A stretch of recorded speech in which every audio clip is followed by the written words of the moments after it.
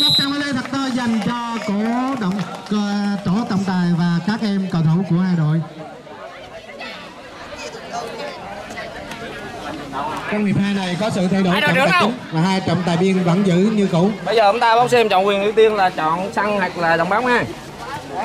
Em nào mà bóng đúng ở đây mà có thằng sỏi không? Là cái này thì sẽ được cộng ưu tiên tất cả dây chuyền đồng hồ nhẫn hộp sòn đều mở ra hết gửi cho thầy Tuấn.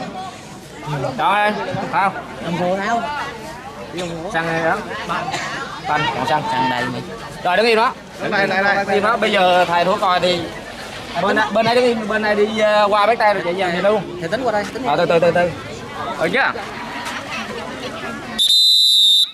Các em thầy qua luôn.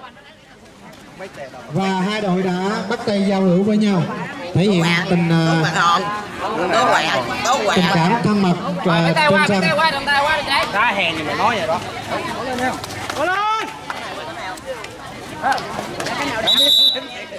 Và trong ờ,